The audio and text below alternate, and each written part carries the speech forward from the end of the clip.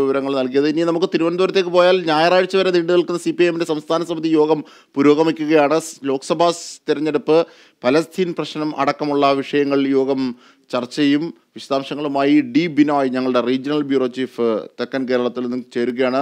തിരുവനന്തപുരത്ത് നിന്നും ചേരുകയാണ്. ഡി ബിനോയ് അതായത് സെക്രട്ടേറിയറ്റ് കൂടി ഒരു ദിശയുണ്ടാകുന്നു. അതിനുശേഷം സംസ്ഥാന സമിതി രൂപം കൊള്ളുന്നു. നിരവധി രാഷ്ട്രീയ പ്രശ്നങ്ങളുണ്ട്. ഈ ഘട്ടത്തിലാണ് ഏറ്റവും പ്രധാനപ്പെട്ട ഒന്ന് ഗവർണറും സർക്കാരും തമ്മിലുള്ള പോര്. അതിന്റെ കോടതിക്ക് പുറത്തുള്ള രാഷ്ട്രീയ മാനങ്ങൾ എങ്ങനെ വികസിപ്പിക്കണമെന്നത്? കാരണം വരാൻ പോകുന്ന തെരഞ്ഞെടുപ്പുമായി ബന്ധപ്പെട്ട മുന്നൊരുക്കങ്ങളെ അതുമായി ബന്ധപ്പെടുത്താവുന്നതാണ്. ഇങ്ങനെ സമഗ്രമായ ചർച്ചകളാകും ഉണ്ടാവുക.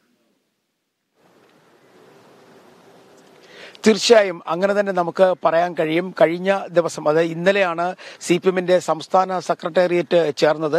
ഇന്നലെ സംസ്ഥാന സെക്രട്ടേറിയറ്റ് പ്രധാനമായിട്ടും കേന്ദ്ര കമ്മിറ്റിയുടെ തീരുമാനങ്ങൾ അല്ലെങ്കിൽ കേന്ദ്ര കമ്മിറ്റിയിൽ ചർച്ച ചെയ്ത വിഷയങ്ങൾ ഇന്നലെ സംസ്ഥാന സെക്രട്ടേറിയറ്റിൽ റിപ്പോർട്ട് ചെയ്തു. അത് ഇന്ന് സംസ്ഥാന സമിതിയിൽ വീണ്ടും അത് ചർച്ചയാവും. അത്തരം കാര്യങ്ങളിലേക്ക് പോകുന്നതിന് മുമ്പ് രാഷ്ട്രീയപരമായ കുറെ കാര്യങ്ങൾ ഇന്നലെ ചർച്ചയായി എന്നുള്ളതാണ് നമുക്ക് അറിയുവാൻ കഴിയുന്നത്. കാരണം സി വളരെ ബുദ്ധിപരമായി ചില കാര്യങ്ങളിൽ മുന്നോട്ട് പോകുന്നു. അതിന്റെ കരുനീക്കങ്ങളാണ് കഴിഞ്ഞ ദിവസം നമ്മൾ കണ്ടത്. കാരണം സി പി എം സംഘടിപ്പിക്കുന്ന ഐക്യദാർഢ്യ റാലിയിലേക്ക് മുസ്ലിം ലീഗിനെ ക്ഷണിച്ചത് ഗുണകരമാകും എന്ന് തന്നെയാണ് സെക്രട്ടേറിയറ്റും ചർച്ച ചെയ്തിരിക്കുന്നത്. ഇത്തരത്തിൽ C P M C P M നടത്തിയ ഒരു നീക്കം ഒരു പക്ഷേ ന്യൂനപക്ഷ വിഭാഗങ്ങളെ പാർട്ടിയിലേക്ക് കൂടുതൽ അടുപ്പിക്കുവാൻ ഇതൊരു വഴിവെച്ചിരിക്കുന്നു എന്ന് തന്നെ വ്യക്തമായി വ്യക്തമാക്കുന്നു എന്ന് തന്നെയാണ് ഇന്നലത്തെ സെക്രട്ടേറിയറ്റും വിലയിരുത്തിയത്. കാരണം ഇങ്ങനെ ഒരു ക്ഷണം നൽകിയ വഴി ലീഗിനകത്ത് തന്നെ ഒരു ഭിന്നസ്വരം അതായത് അനുകൂലിക്കുന്നവരും പ്രതികൂലിക്കുന്നവരും എന്ന തരത്തിലേക്ക് കാര്യങ്ങൾ കൊണ്ടുവരാൻ സി പി എമ്മിന് കഴിഞ്ഞു എന്ന് ആണ് ഇന്നലെ സെക്രട്ടേറിയറ്റ് പ്രധാനമായും ചർച്ച ചെയ്തത്. അത്തരത്തിൽ തന്നെയാണ് സംസ്ഥാന രാഷ്ട്രീയവും അതിനെ നോക്കിക്കാണുന്നതും. മറ്റൊരു വലിയ പ്രശ്നമായി ഇപ്പോൾ കാണപ്പെടുന്നത് ദേശീയ തലത്തിൽ ഇപ്പോൾ ഇന്ത്യ മുന്നണിയിൽ ഏതു നിലപാട് സി പി എം സ്വീകരിക്കണം എന്നുള്ളതാണ്. ഏകോപന സമിതിയിലേക്ക് സി പി എം അംഗമാകണമോ അല്ലെങ്കിൽ മാറി നിന്ന് പിന്തുണയ്ക്കണമോ എന്നുള്ള ഒരു നിലപാടാണ് അതും ഇന്നലെ സെക്രട്ടേറിയറ്റിൽ ചർച്ചയായി അത്തരത്തിൽ ആ ചർച്ചകൾ ഇന്ന് സംസ്ഥാന സമിതിക്ക് വിട്ടു നൽകാനായിരുന്നു ഇന്നലെ സെക്രട്ടേറിയറ്റ് യോഗത്തിൽ തീരുമാനമായത്. കാരണം അത് ഒരു പൊതുവായ തീരുമാനം ഇത്തരം കാര്യങ്ങളിൽ വേണം എന്ന നിലപാടാണ് സംസ്ഥാന സെക്രട്ടേറിയറ്റ് നിലകൊണ്ടത്.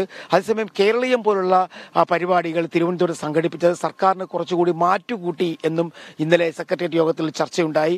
അത് മാത്രവുമല്ല വരും ദിവസങ്ങളിൽ മുഖ്യമന്ത്രിയും മന്ത്രിമാരും സംസ്ഥാനത്തിന്റെ എല്ലാ മണ്ഡലങ്ങളിലേക്കുമുള്ള യാത്രയ്ക്ക് പൂർണമായ പിന്തുണ നേടുന്നതിന് എന്തൊക്കെയാണ് നീക്കങ്ങൾ നടത്തേണ്ടത് എന്നുള്ള കാര്യവും ഇന്നത്തെ ഇന്നും നാളെയുമായി ചേരുന്ന സംസ്ഥാന കമ്മിറ്റി യോഗത്തിൽ ചർച്ച ചെയ്യണമെന്നുള്ള തീരുമാനമുണ്ടായി. അതേസമയം കഴിഞ്ഞ ദിവസങ്ങളിലൊക്കെ ഉണ്ടായ ഒരു വലിയ പ്രശ്നം ഈ സാധാരണഗതിയിൽ പാർട്ടി പാർലമെന്റ് തെരഞ്ഞെടുപ്പിന് മുമ്പ് ഒരു മൂന്ന് മാസങ്ങൾക്ക് മുമ്പ് തന്നെ സ്ഥാനാർത്ഥികളെ കുറിച്ചുള്ള ഏകദേശ ധാരണ ഉണ്ടാക്കുകയും പിന്നീട് ആരൊക്കെ മത്സരിക്കണം എന്നുള്ള കാര്യത്തിൽ ഒരു ചർച്ചയാവുന്ന പതിവുണ്ട്. എന്നാൽ ഇത്തവണ ഇതുവരെയായും പാർലമെന്റ് തെരഞ്ഞെടുപ്പുമായി ബന്ധപ്പെട്ട സ്ഥാനാർത്ഥികളുടെ കാര്യത്തിൽ അല്ലെങ്കിൽ ആരൊക്കെ മത്സരിക്കണം എന്ന കാര്യത്തിൽ ഒരു സൂചന പോലും നൽകാൻ പാർട്ടിക്ക് കഴിഞ്ഞിട്ടില്ല എന്ന് കഴിഞ്ഞ സംസ്ഥാന സമിതി യോഗത്തിൽ ഒരു ഒരു വലിയ ചർച്ചയുണ്ടായിരുന്നു. എന്നാൽ ഇപ്രാവശ്യം ഒരു പക്ഷേ ആരൊക്കെ മത്സരിക്കണം അല്ലെങ്കിൽ ആരൊക്കെ ഏതൊക്കെ മണ്ഡലങ്ങളിൽ ഏതൊക്കെ പാർലമെന്റിന്റെ മണ്ഡലങ്ങളിൽ ആർക്കൊക്കെ പ്രചരണവുമായി ബന്ധപ്പെട്ട കാര്യങ്ങളിൽ അവർക്ക് നേതൃത്വം നൽകാൻ ആരെയൊക്കെ മുന്നോട്ട് കൊണ്ടുവരണം തീർച്ചയായും ഈ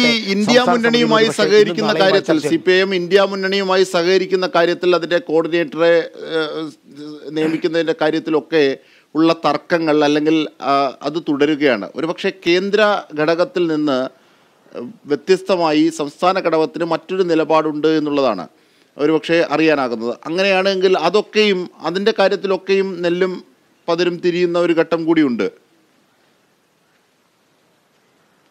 തീർച്ചയായും അങ്ങനെ തന്നെ നമുക്ക് പറയാം. കാരണം ഏകോപന സമിതിയിലേക്ക് സി പി എം പോകണം. ദേശീയ തലത്തിൽ പാർട്ടിക്ക് അതിന്റെതായ ഒരു വളർച്ച ഈ സമയത്ത് വീണ്ടെടുക്കാൻ കഴിയും എന്ന് തന്നെയാണ് സി പി എം സംസ്ഥാന ഘടകത്തിന്റെ വിശ്വാസം. അതുകൊണ്ട് തന്നെയാണ് സി പി എം സംസ്ഥാന ഘടകം പലപ്പോഴായി പല ആവർത്തിയായി ഏകോപന സമിതിയിലേക്ക് സി പി എം പോകണം എന്നുള്ള ഒരു സംസ്ഥാന ഘടകത്തിന്റെ ആവശ്യം. ആ ഘടകം ഈ സംസ്ഥാന ഘടകത്തിന്റെ ആവശ്യം ഇന്ന് നിർണായക ചർച്ചയാകും. കാരണം ഇതിനകത്ത് നമ്മൾ മനസ്സിലാക്കേണ്ട കുറെ കാര്യങ്ങളുണ്ട്.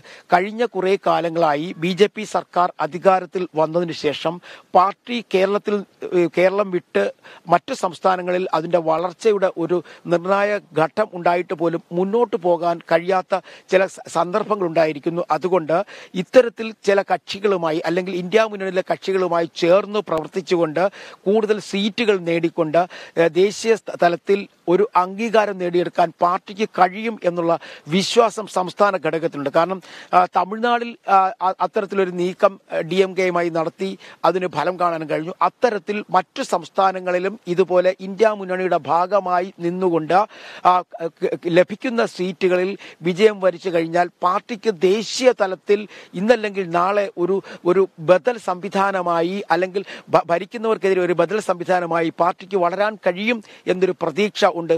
അതുതന്നെയാണ് സി പി എം സംസ്ഥാന ഘടകത്തിലെ വലിയ ചർച്ചയായിക്കൊണ്ടിരിക്കുന്നത്. അത് ഒരു നിർണായക ചർച്ചയായി വരും. കാരണം കേരളത്തിലെ സംബന്ധിച്ചോളം കേരളത്തിൽ U D F L D F എന്ന രീതിയിലാണ് മത്സരിക്കുന്നതെങ്കിലും അതിൽ നിന്നും വ്യത്യസ്തമായി മറ്റൊരു തരത്തിലേക്ക് ദേശീയ തലത്തിലേക്ക് രാഷ്ട്രീയം മാറുന്നു. ആ രാഷ്ട്രീയത്തിനൊപ്പം സി പി എമ്മും ഉറച്ചു നിൽക്കണം. അത്തരത്തിൽ സി പി എം ചർച്ച ചെയ്യണം എന്ന വാദഗതിയാണ് സി പി എമ്മിന്റെ സംസ്ഥാന ഘടകം മുന്നോട്ട് വെക്കുന്നത് ജിംഷാദ് തീർച്ചയായും ഈ തർക്കം സർക്കാരും ഗവർണറുമായുള്ള പോര് കുറേ നാളുകൾക്ക് മുമ്പേ തുടങ്ങിയതാണ്. അതൊരു പക്ഷേ ബി ജെ പി രാഷ്ട്രീയവും സി പി ഐ എം രാഷ്ട്രീയവും തമ്മിലുള്ള ഏറ്റുമുട്ടലാണ് എന്നൊക്കെ നമുക്കറിയാം. ഇതിന്റെ ഒരു തുടർച്ച എന്നുള്ള നിലയിലാണ് ഈ കോടതിയിലെ വ്യവഹാരങ്ങളെയൊക്കെ കാണേണ്ടത്. അതൊരു രാഷ്ട്രീയ പ്രശ്നമായി ഉന്നയിക്കുകയും ചെയ്യും സി പി ഐ എമ്മും ഇടതുപക്ഷവും ഒക്കെ. ഇന്ന് ഗവർണർ ഡെറാഡൂൺ സന്ദർശനം കഴിഞ്ഞ് തിരിച്ചു വരുന്ന ദിനം കൂടിയാണ്. അജിംഷാദ് അതിനകത്ത് നമ്മൾ മനസ്സിലാക്കേണ്ടത് ഇത് ഇതിനകത്തൊരു രാഷ്ട്രീയത്തിന് അപ്പുറത്തേക്ക് ഒരു ഒരു ജനകീയ പ്രശ്നമാക്കി സി പി എമ്മിന് ഗവർണറുടെ പോരിനെ മുന്നോട്ട് കൊണ്ടുവരുവാൻ കഴിഞ്ഞു എന്നുള്ളതാണ് ഏറ്റവും ശ്രദ്ധേയമായ കാര്യം. കാരണം പലപ്പോഴായി പല ആവർത്തി ഇരുപത്തിമൂന്ന് മാസമായി സംസ്ഥാനത്തെ സർവകലാശാലകളുടെ ഭരണ ഭേദഗതിയുമായി ബന്ധപ്പെട്ട ബില്ല് രാജ്ഭവനിലെത്തിയിട്ട്. ആ ബില്ലിന്മേൽ ഒന്നുകിൽ ആ ബില്ല് തിരിച്ചയക്കുകയോ അല്ലെങ്കിൽ മറ്റു പരിഗണന പരിഗണനയ്ക്കായിട്ട് രാഷ്ട്രപതിക്ക് അയക്കാ അയക്കാനോ ഗവർണർ തയ്യാറായിട്ടില്ല. ഇത് ഇതുമൂലം ഉണ്ടാകുന്ന ബുദ്ധിമുട്ട് അല്ലെങ്കിൽ ഇതുമൂലം ഉണ്ടാകുന്ന പ്രശ്നങ്ങൾ ചെറുതല്ല. കാരണം ഇപ്പോഴും പല സർവകലാശാലകളിലും വൈസ് ചാൻസലർമാരില്ല. അതിനു പകരം മറ്റ് ചുമതലക്കാരെ അതിന്റെ ചുമതല നൽകിക്കൊണ്ടാണ് സർവകലാശാലകളുടെ ഭരണം മുന്നോട്ട് പോകുന്നത്. അത്തരത്തിൽ വിദ്യാർത്ഥികളുടെ പഠനവുമായി ബന്ധപ്പെട്ട വിഷയങ്ങൾ. കോളേജുകളുടെ പ്രവർത്തനത്തെ ബാധിക്കില്ല എങ്കിൽ പോലും ഈ ഫണ്ട് ചിലവഴിക്കുന്ന കാര്യങ്ങൾ അല്ലെങ്കിൽ അപ്ഗ്രേഡിംഗ് ഉൾപ്പെടെയുള്ള കാര്യങ്ങളിലൊക്കെ വരുമ്പോഴേക്കും വി സിമാരുടെ ചുമതല പങ്ക് നിർണായകമാണ്. അത്തരത്തിൽ ആ പങ്കുകൾ നിർവഹിക്കാൻ കഴിയാത്ത തരത്തിലേക്ക് കാര്യങ്ങൾ നീങ്ങുന്നു എന്നത് തന്നെ അത് അത് ജനങ്ങളിൽ കൃത്യമായി എത്തിക്കാൻ കഴിഞ്ഞില്ല എങ്കിൽ പോലും ഒരു ചർച്ചയാക്കുവാൻ കഴിഞ്ഞു. ഈ വിഷയം സംസ്ഥാന സമിതിയിൽ കൃത്യമായ ചർച്ചയായി വരും. കാരണം പാർട്ടി നേരത്തെ തന്നെ ഒരു കഴിഞ്ഞ രണ്ട് മൂന്ന് സംസ്ഥാന സമിതികളിൽ ഉന്നയിച്ച വിഷയമായിരുന്നു. ഗവർണർ ഈ വിഷയം അതല്ലെങ്കിൽ ഗവർണർ സർക്കാരിനോട് കാണിക്കുന്ന ചില നയങ്ങൾക്കെതിരെ കൃത്യമായും സുപ്രീം കോടതിയിലേക്ക് പോകണം. അങ്ങനെ ഇരുന്നാൽ മാത്രമേ ഈ ഗവർണറുടെ ഇത്തരത്തിലുള്ള നയങ്ങൾക്ക് ഒരു മൂക്കയിലിടാൻ കഴിയുകയുള്ളൂ എന്ന് സംസ്ഥാന സമിതി യോഗങ്ങളിൽ പല ആവർത്തി ചർച്ച ചെയ്താണ്. മന്ത്രിസഭാ യോഗങ്ങളിലും ചർച്ച ചെയ്താണ് അങ്ങനെ വളരെ നാളത്തെ ഈ ചർച്ചകൾക്കൊടുവിലാണ് കഴിഞ്ഞ ദിവസം ഹർജി ഏകദേശം ഇരുന്നൂറ്റി നാൽപ്പത്തി ഒന്ന് ക്ഷമിക്കണം നാനൂറ്റി ഇരുപത്തി ഒന്ന് പേജ് വരുന്ന ഒരു ഹർജിയാണ് ഇപ്പോൾ സുപ്രീം കോടതിക്ക് മുന്നിലേക്ക് എത്തിയിരിക്കുന്നത്. പ്രധാനപ്പെട്ട എട്ട് ബില്ലുകളാണ് പരിഗണിക്കപ്പെടേണ്ടത്. ആ എട്ട് ബില്ലുകളും നിർണായകമായ ബില്ലുകളാണ്. ഇതിൽ ഒരു ഇപ്പം ലോകായുക്തയുടെ പ്രവർത്തനം പോലും കൃത്യമായി മുന്നോട്ട് പോകാത്ത തരത്തിലേക്ക് പോകുന്നു എന്നുള്ളതാണ്. ലോകായുക്തയുടെ പ്രവർത്തന പരിധി വെട്ടി ചുരുക്കുന്നതുമായി ബന്ധപ്പെട്ട ഒരു ബില്ലാണ് ഒരു മുഖ്യമായ ഒരു ബില്ല് കൂടി ഇതിനകത്ത് ഉൾപ്പെടുന്നു. മാത്രമല്ല അതുപോലെ ഈ സഹകരണ മേഖലയുമായി ബന്ധപ്പെട്ട ഒരു ബില്ലുണ്ട് ഇത്തരത്തിൽ ഓരോ നിയമസഭ പാസാക്കിയ നിയമനിർമ്മാണ സഭ പാസാക്കിയ ജനതതി ഏൽപ്പിച്ചവരാണ് നിയമനിർമ്മാണ സഭ എന്ന് പറയുന്നത്. അത് അവർ പാസാക്കിയ ബില്ലുകൾ അങ്ങനെ തിരിച്ചയക്കാതെയോ പിടിച്ചു വെക്കാനോ അല്ലെങ്കിൽ പ്രസിഡന്റിലേക്ക് അയക്കാതെയോ പിടിച്ചു വെക്കാൻ ഉള്ള അവകാശം ഭരണഘടനാപരമായി തന്നെ ഗവർണർക്ക് ഇല്ല.